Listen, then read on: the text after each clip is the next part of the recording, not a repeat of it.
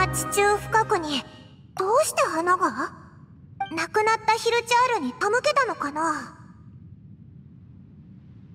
言われてみれば確かにどこかで見たことあるような。これはカーン・ルイヤの国家インテイワットだ。かつてカーン・ルイヤの至る所に咲いていた。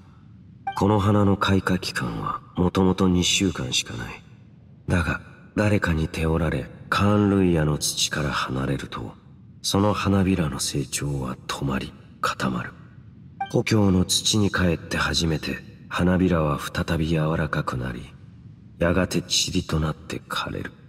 故にインテイワットは勇士つまり郷を離れて旅する者を象徴しまた故郷の優しさという意味を持つあこの花がここにあるってことはつまり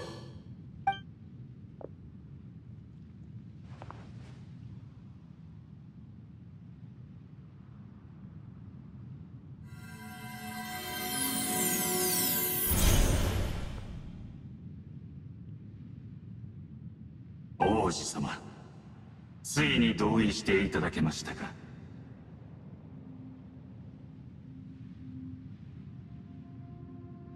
天理への対抗に傾倒するあまり復興という大事な使命を忘れかけていた。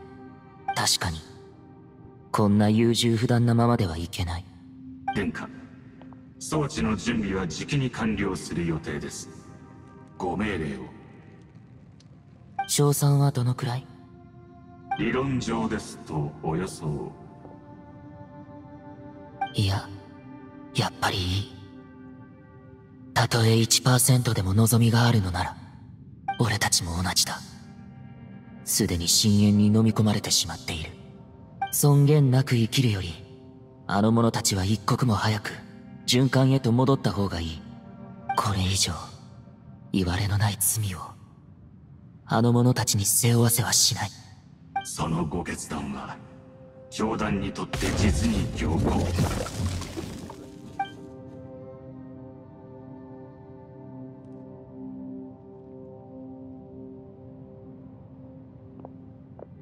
兄ちゃん。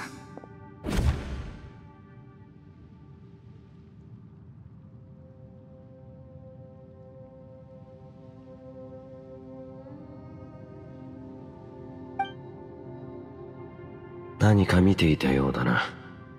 何を見た？そうそう。ずっとぼーっとしてたぞ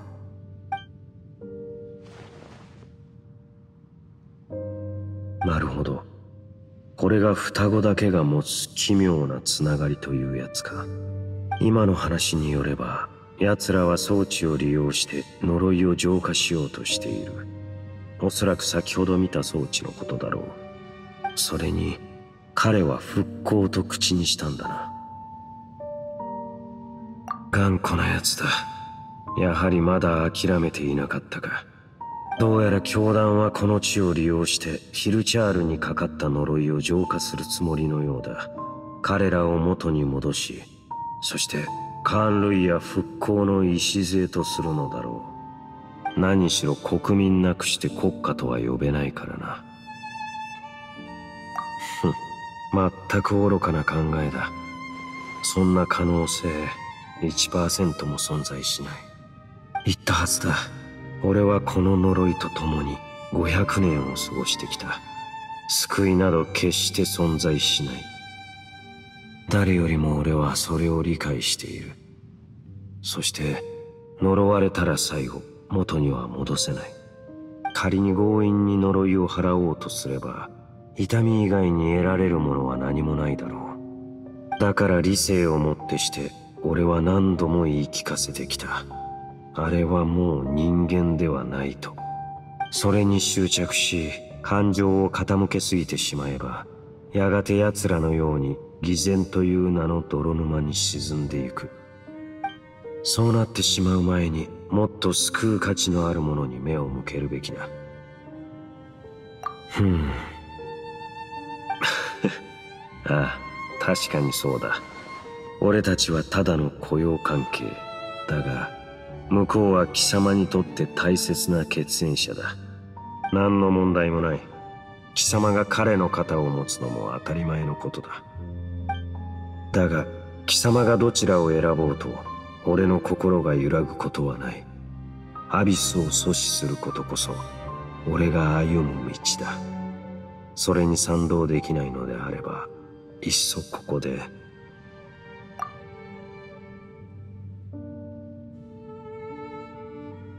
そうか。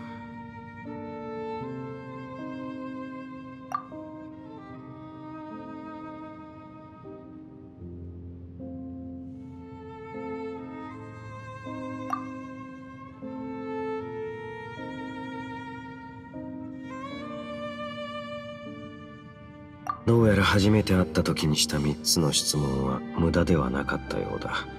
すでに貴様は自分なりの見方でこの世界を見ている。貴様が本心を明かした以上俺も隠しておくつもりはない。俺は今回アビスを止めるという目的以上にただハールブダンたちの意志を踏みにじるアビスの独善的な行為を許せない。アビスはいつ現れるかわからない。油断せずに進もう。